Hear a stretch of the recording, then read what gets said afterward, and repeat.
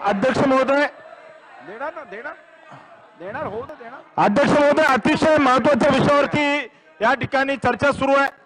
अध्यक्ष महोदय असाच प्रकार या ठिकाणी जसा हा असाच प्रकार त्या ठिकाणी आदिवासी व्यक्तींच्या विषयामध्ये महाराष्ट्रामध्ये अनेक ठिकाणी घडलेला आहे.